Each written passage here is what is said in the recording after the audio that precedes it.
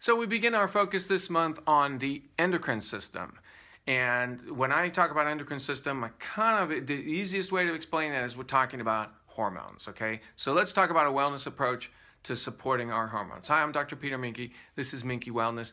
And the endocrine system is, uh, you know, uh, maybe a loose designation. We have a lot of different endocrine organs, okay, glands, uh, and and we're going to be talking about this this series of glands that starts up in the head. You know, you might have heard pineal, hypothalamus, pituitary, and then we go to the thyroid, uh, and then we come down, and we could even argue, uh, you know, some some other elements. So there's actually so let me back up. When, when we're talking about endocrine system, like I said, mostly I'm not I'm, I'm not going to argue with the physiologists on this. I'm just talking about what we most of us understand the endocrine system to be is we're talking about our hormones, right? We want to have healthy, balanced hormones how do we be well in the hormone category okay? And so we there are some things that we can look at that have to do with you know specific organs. Now like i said we've got a number of different organs that all kind of talk to each other. They all work together. But all of them we're basically talking about hormones. We're talking about these glands that produce compounds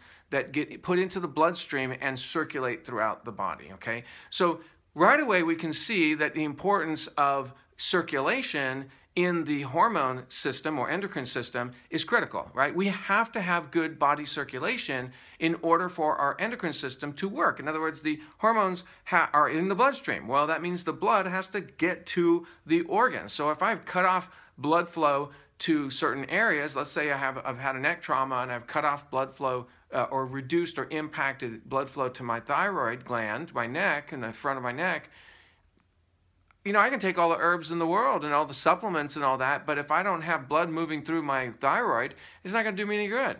So there's definitely a structural component, a how a body alignment and and a scar tissue and tension component to keeping healthy in the endocrine system. Well, I think that's true for anything, which is why I've included that element in our every in, in all of our discussions associated with these this wellness approach to our body uh, and all these different body systems.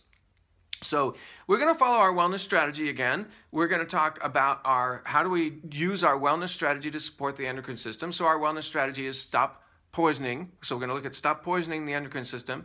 Definitely some things we can do there. Flood the endocrine system with nutrients. Definitely there's there's an element we can do for that. And then manage our stress. How does stress relate to the hormones? Well, uh, you know, our brain produces stress, that kicks in a whole hormone cascade. We definitely need to understand how that works and look at the consequences of that. But then there's the flip side.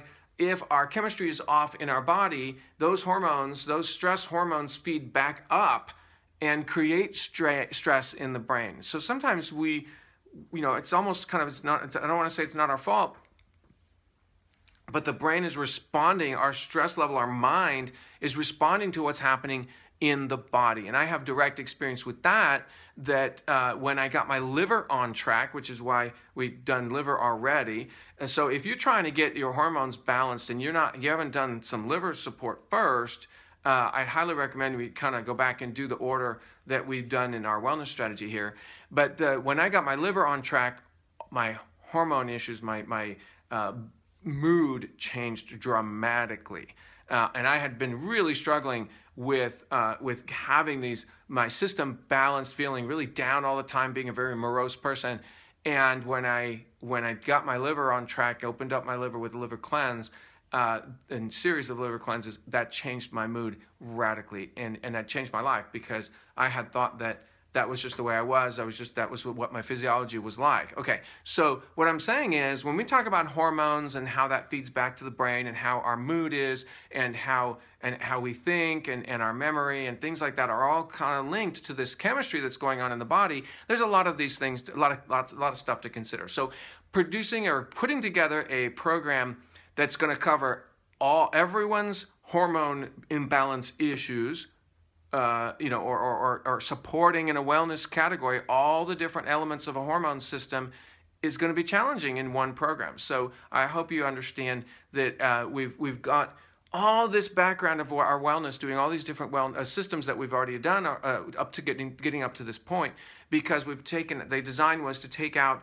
uh, some of these other complicating issues, so that by the time we get to this point here, of the of the the hormones, which these very fairly complicated cascade of things, we've, we've narrowed down the field of what we need to work on. And so as I've put together the program, uh, which we'll discuss on a different video, um, the, the, the program is designed to support each one of these organs. So let's look at the organs. Let's look at the players. What, what are we working with here uh, in the endocrine system, okay? So these are the hormone producing uh, uh glands, if you will. And so we'll start here.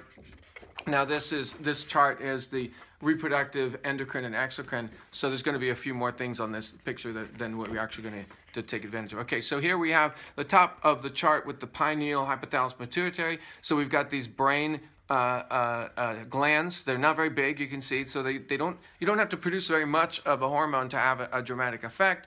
Uh, it's true for both men and women. We've got the, the pineal gland that's responsible for the circadian rhythm, the day and night.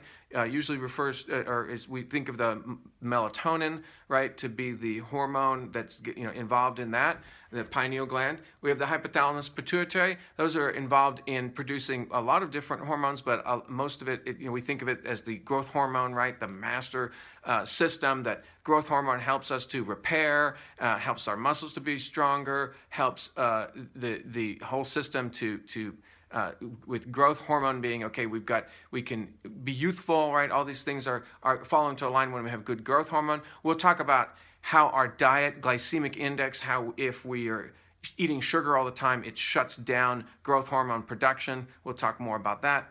Um, and then we go down to the thyroid. Oh, well, I mean, we'll talk about circulation in the brain, right? We've got to have good blood flow, good, good, not just blood flow, but good uh, cerebral spinal fluid flow inside the head. Um, okay, so we go down to the thyroid. We a lot of attention. The thyroid gets a lot of attention, but again, if I don't have good circulation, then I can't produce. I can't get that hormone, the thyroid hormone. Actually, there's four different versions. It's T1, 2, 3, and 4. They all have some kind of action, uh, even though the, the only attention anyone gives is the T4. Uh, and so anyway, we've got thyroid hormone that's being produced. That's responsible for our metabolism. Our basic cellular metabolism is going to be in, involved in that. Uh, and that's going to link down to the pancreas, which is also an endocrine organ, uh, and it produces insulin. But again, if I've got abdominal surgeries, scar tissue that influences the circulation that gets to the pancreas, uh, or if I'm got carry a lot of stress in the middle and I'm tight all the time in the, in the abdomen, uh, or if my posture is is all hunched over and I, I'm, I'm not getting you know I'm I'm getting a lot of strain across the neck uh, or and and my posture is hunched that I'm I'm putting pressure down on my guts, well then I'm not going to get good flow, blood flow, and I'm going to have more likely have a weak pancreas or, or the weak effect of the pancreas. Pancreas can't get its insulin that's producing into the bloodstream and out to the rest of the body. Of course, the insulin is responsible for managing blood sugar or actually to tell cells to take up blood sugar. And we'll talk about how, again, diet and stuff are influencing that system. Um, then we go to the, the, adrenal glands, which sit on top of the kidneys, okay? We've got the uh, little, their little chickpea size. They, they produce almost all of our hormones that you talk about and think about that you know you hear about a lot of hormones being produced by the adrenal glands we'll talk a lot more about the adrenal system but, but main, mainly they're called adrenal for because they produce adrenaline uh, that's also known as epinephrine uh, and so you have an EpiPen uh, you know that that so epinephrine is that very stimulating adrenaline and epinephrine are the same um, they just were identified differently, so they, they ended up with different names. But they're the same compound. It's produced by the adrenal glands. Uh, the adrenaline is the thing that, boom, you know, really pushes the system to wake up, uh, get the stress system going. And so if we're producing, if we've got a lot of stress, so remember our wellness strategy, manage our stress. When it comes to the endocrine system, very, very important to do that. Okay, so because there's there's going to be those feedback loops. Okay, if we continue to stress out and push on the adrenal glands, and the adrenal glands get fatigued and weak, that's what they call adrenal fatigue, then we end up stressing out the thyroid because the thyroid has to take over or tries to take over to help with the stimulate the system. Then we go down the, the, the final elements we'll talk about for women are the ovaries, for men the testes, um, and those are going to be involved in, of course, the, uh, the endocrine release of, of what we consider be our sex hormones, right? Testosterone and uh, estrogen, progesterone. So in, in the you know women they have a lot more we have a lot more hormones to talk about there are all those hormones the, the, men and women have the same hormones Uh, we just have them in different levels, okay? And so um, the the testosterone is much higher in men, you know, progesterone, and estrogen much lower, but those are still needed at other functions. They're not just uh, involved in, in sexual development, they're involved in bone density, for example. Uh, and so we, we'll talk a little bit about those, how those things connect. Uh, calcium utilization, if we, I forgot the parathyroid glands, those are these little glands, four, four little glands up with the thyroid that are responsible for calcium utilization. So there's a lot of moving parts here, and there's definitely uh, uh, something we're going to talk about in each of these. It's going to be a little bit challenging to get a handle on how complicated this system is, and then and then find out what what we're going to work with. But that's my job. Is I'm going to pick out the important parts and have it in, in concrete little ways that we can work on this. But I want to point out. Uh, very uh, carefully that we, that we talk about this wellness strategy of stop poisoning, stop poisoning the endocrine system, and this is where this becomes absolutely critical uh, because we talk about the pineal pituitary gland, uh, hypothalamus pituitary gland up here as the master glands. Well, the the olfactory system, when we breathe in something, those the, that compound, that odor, actually, the, the, chemicals in the odor come in, and they, if they're small molecules, they actually penetrate into the brain. That's what the whole glue sniffing is all about back in the 70s, right? Uh, you you get an effect. The brain actually gets saturated with these or, or, aromatic compounds and it's burning up the brain, causing a, a wooziness or whatever. And so that, that was the what people, you know, the glue sniffing back in the 70s, right? We had to we had to regulate modeling glue because you know kids were sitting there spending time you know sniffing it. Um, so what I'm saying is when we talk about a, a toxic, uh, avoiding poisons, there are definitely some things that we need to be very careful with. And as we start to talk about using essential oils, this is where essential oil quality makes all the difference. We cannot expect to have a healthy endocrine system, a healthy hormone system, if I'm toxifying myself with synthetic fragrances that contain hormone disrupting uh, chemicals and they come straight into the brain through the aromatic system. So this is a lot of people will say, well, okay, uh, you know, there's, there's, some really good quality essential oils are a little bit expensive. I'm just going to use the junky stuff in my diffuser to make my house smell good. No, no. A great way to disrupt your, your endocrine system at the top down right? Get rid of all synthetic fragrances. That's that that goes back to that very first the very first month of our wellness program.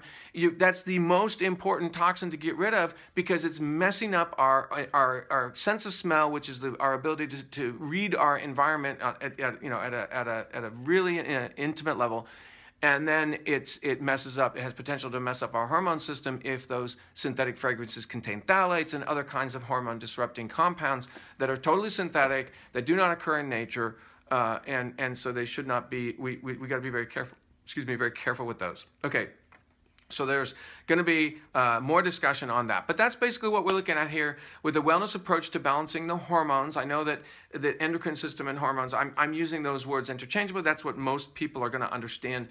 That's the basics of what we're talking about. We're not going to have the time to go through every single little nuance associated with it, but these are the organs we're talking about here, the going from the top down and we'll experience, get some tools that we can work with with each of these. We've got our supplements and oils that we're working with. The idea for the supplement oil program was as a bit of a, let's get each, let's get something uh, helpful in each of these categories that help uh, each of these major organs. Uh, and so that's the design. If we do that all at once for a month and get the whole hormone system on track, we're going to find ourselves in a much better place. The idea of this wellness program is to be more well at the end of each month for that body system. And then at the end of the year, after going through 12 body systems, we'll be more well than we were when we started. Is it going to solve all of our problems in one program, in one portion of one month? No. Okay, so just keep that in mind. The intention here is to make a concerted effort that gets us in a real way in a step forward. Okay, so we're going to be taking this one day at a time. That's what wellness is, one day at a time. Hang in there. We're going to get started to work with our hormones. Happy wellness.